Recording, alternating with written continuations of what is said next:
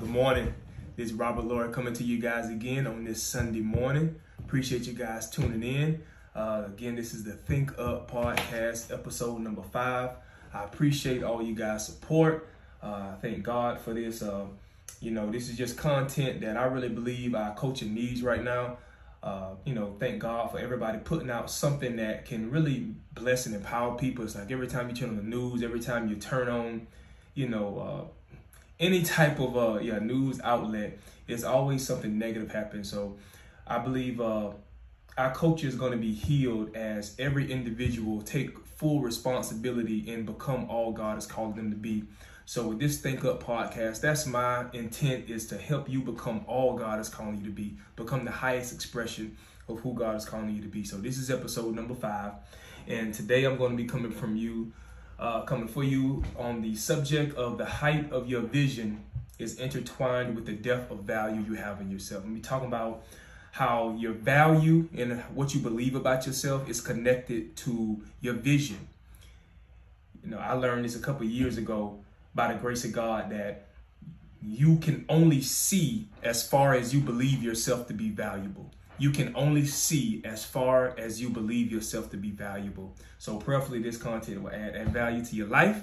If you like it, please subscribe to my YouTube channel uh, and go in and like it. If you have any questions, anything, please send me an email at Robert L. Lowery, L-O-W-E-R-Y at, oh, I'm sorry, Robert L. Lowery 3 at gmail.com.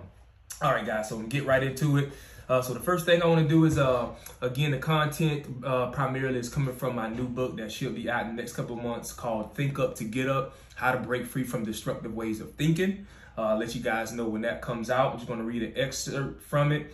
Uh, this is the chapter I have that's dealing with vision. You just want to read that and just cover a couple of points, and then preferably you guys uh, who go to church can get on off the church, all right? Okay, so Earl Nightingale uh, he is uh, one of the, he's pretty much one of the guys who pretty much founded the motivational speaking uh, area. He, you know, he started way back, I believe, in the 50s.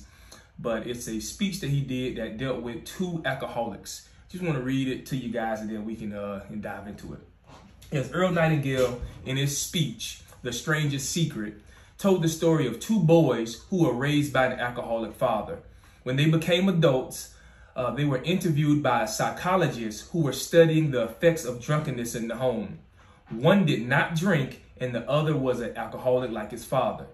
Both were asked why did they turn out the way that they did, and both gave an identical answer. What do you expect when you have a father like mine? When I heard this story, it confirmed the uncomfortable truth, which is you choose to allow your past experiences to keep you down or build you up. Choose the latter.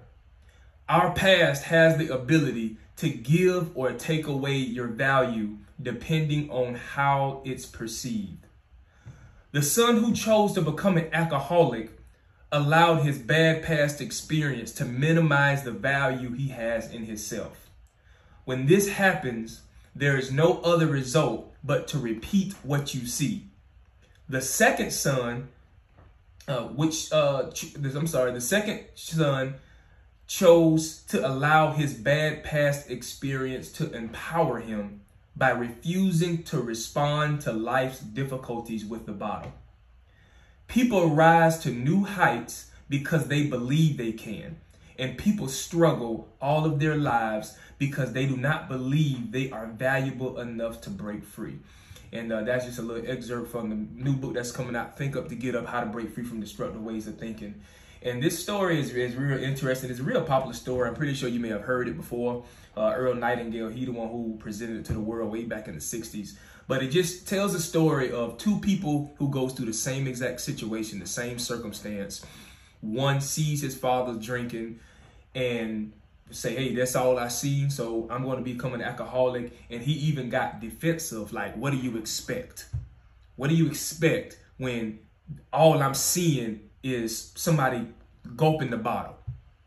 The other son had that same exact experience and said, and he, oh, I'm sorry, he got defensive and said, what do you expect? I'm not going to be nothing like my father. I'm never going to drink again. It's amazing, y'all, how we can go through bad experiences situations. You know, many of you guys, we all been through, we all got a story. But it's the person who refuses to allow that story to define you in a way that minimizes your value. And I pray that uh, you know, something spark in your spirit that whatever you went through in your past that may that may be limiting your value, causing you to see yourself as a lesser than, that it be broken free. But I believe in order to break free, it first got to be exposed.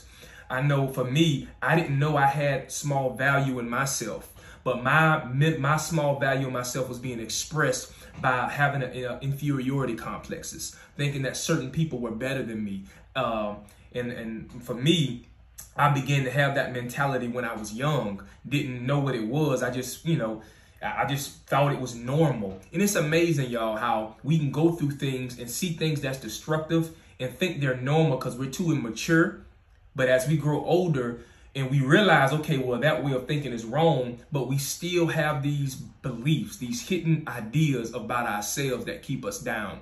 And I believe in our culture, 2021, this is the time to break free from that. And I believe you don't break free by getting angry, by pointing the finger. It starts with pointing the finger at yourself and say, okay, I believe this about myself, and I need to break free from that. I believe that you're only going to break free when you take full responsibility of what you have full responsibility of. You don't have full responsibility over somebody else apologizing. You don't have full responsibility of somebody else believing in you, but you can believe in yourself. And you can manifest everything that God is calling out of you by first believing who you are and believing who God is. I want to read you guys Proverbs 28 chapter. Uh, and uh, I'm going to start, oh, let me pull it up right quick. Mm, the 28th chapter. And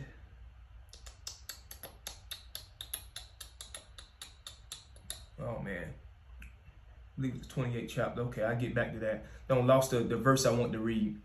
Uh, but we're gonna come back to that.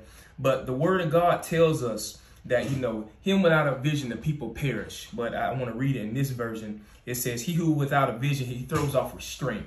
I'm gonna pull it up. But when you have a vision for yourself and a vision for your life, it forces you out of the box. You know, uh, your vision for yourself is always going to be connected to what you believe about yourself. Think about it. When you have a small value in yourself, your vision tends to not be much bigger than that value. Let me read you guys this. It's the same way as a building, right? look at it like this. A building can only be built as high as the constructors dig deep. They can't start building anything high until they dig deep. It's a famous building. I forgot what state it's in.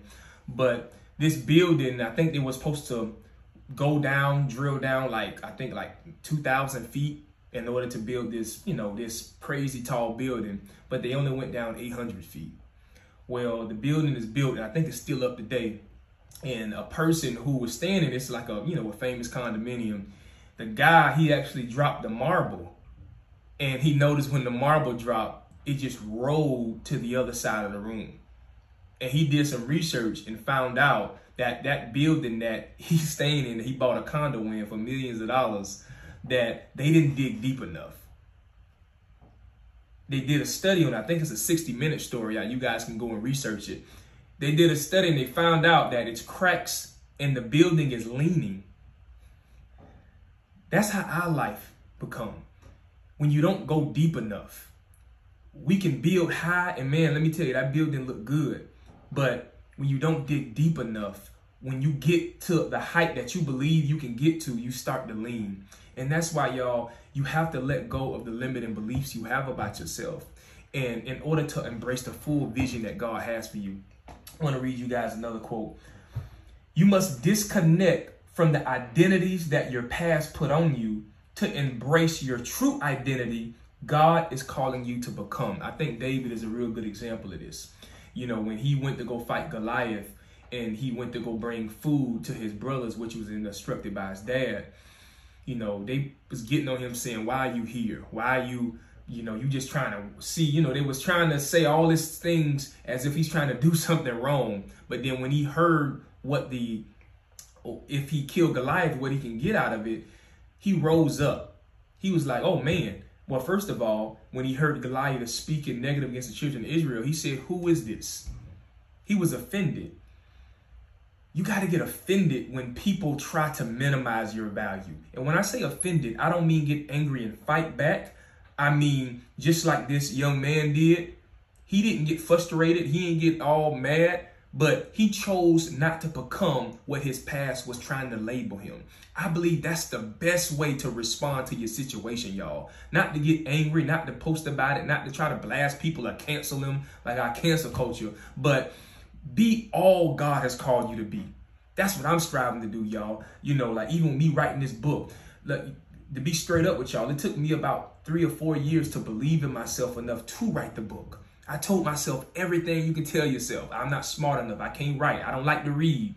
Uh, I don't want to write. It's too hard. Nobody gonna listen to it. Uh, and the majority of the things were true, but it just kept coming out of me like, man, I need to write this book. I need to write this book. And as I began to write, man, it really started blessing me. And the content I started writing about, y'all, this book is, I, I pray it bless you guys. That's why I want to give the content away for free because I think our culture need this.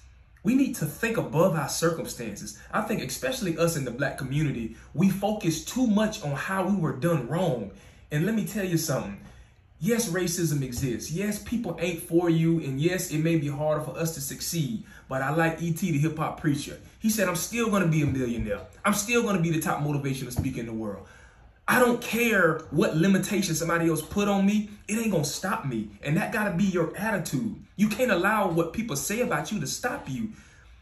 You can't just get angry and respond with your emotion.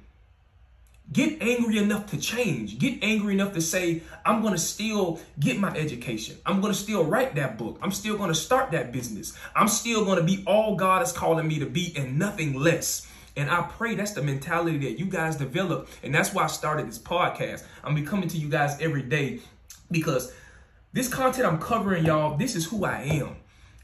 I, I can cover this every day, and I don't know how long I'm to do this, but I'm serious about embracing everything that God has for me, for me and my family, and nothing less.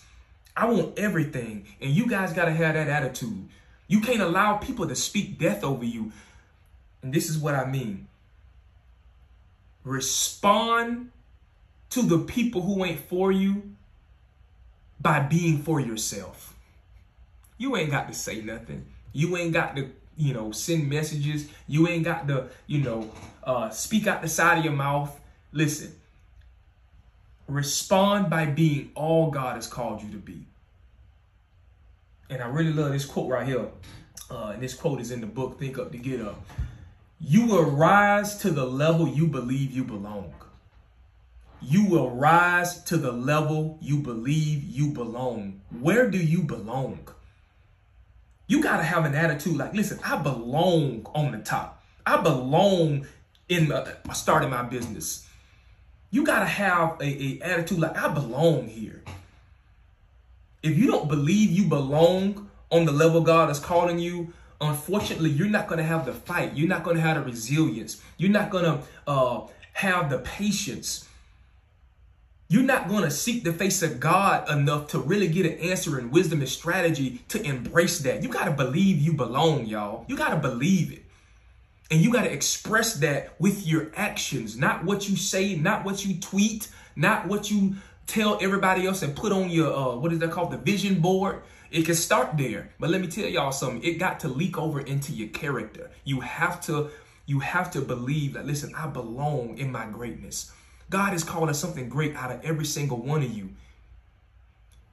You would not embrace it if you minimize your value and connect it to what people think about you or connect it to bad past experiences that you had. So, y'all, I'm going to start there. I pray this content bless you. I'm be coming to you guys tomorrow. Uh, again, the height of your vision is intertwined with the depth of value you have in yourself. The height of your vision is intertwined with the depth of value you have in yourself. You will only build as far as you believe yourself to be valuable. So your value is connected to how deep you dig deep. You know, and uh, and, I, and I'm say this so many times. You know, uh, this content, everything is coming from what God gives me from the Word of God. You know, I believe for me, digging deep first start with having a relationship with Christ you know, I turned my life over to Christ in 2008 and it blessed me and he changed my mind. So I pray that you make a decision. You know, uh, some of you guys may not be believing. I think God is really calling many of you, and that's why you're watching this content. Uh, God is calling us to, to, to embrace everything He has for us. And uh, I want to realize what he has for me and my family. I don't want nothing less and nothing more. I don't want somebody else's blessing. I don't want to look blessed. I don't want to look anything. I want to be.